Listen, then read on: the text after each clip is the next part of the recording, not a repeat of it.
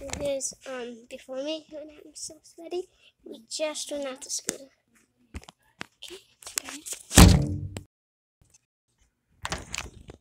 And this is after me. Shower, nice and fresh. And bye.